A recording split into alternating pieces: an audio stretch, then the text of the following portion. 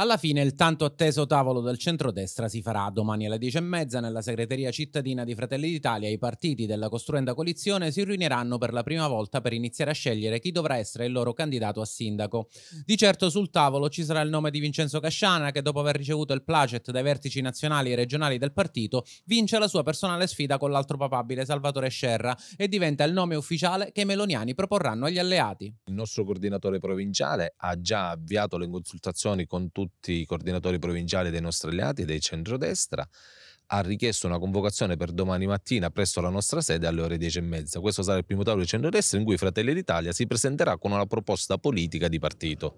Noi presenteremo il nostro capogruppo Vincenzo Casciana. Domani sarà la volta buona per ufficializzare il candidato unico. Le incognite non mancano. Inizierei proprio dal nome di Casciana che pare non convinca proprio tutti i potenziali alleati. I meloniani provano però a guadagnarsi la leadership, anche se le variabili ci sono e sono tante. Il tempo ancora per eh, poter determinare il sindaco ce n'è. Eh, Casciana riteniamo che sia la, il nome giusto da poter presentare alla nostra coalizione. Naturalmente i tempi democratici vanno rispettati e siamo arrivati a questa conclusione.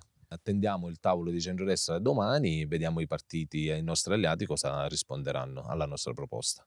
Il patto nisseno tra Forza Italia e Fratelli d'Italia difficilmente troverà terreno di coltura per le amministrative locali. Scuvera però lo rivendica fortemente, anche se non è da escludere che al tavolo arriveranno anche altre proposte. Il patto non è tra due partite, ma è stato fatto un patto di centrodestra in cui erano seduti là tutti i partiti di centrodestra. Quindi non capiamo perché non dovrebbe valere anche per Gela, perché su quell'accordo provinciale si parlava di Caltanissetta e Gela.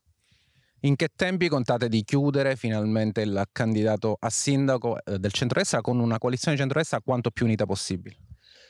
L'importante non sono i tempi, naturalmente arrivare nel tempo utile per poter presentare le liste, ma l'importante è arrivare con una proposta politica che sia condivisa da tutti per poter andare a governare con eh, un governo che sia autorevole e legato al governo regionale e al governo nazionale, che possa dare prosperità e futuro alla nostra città e ai nostri cittadini.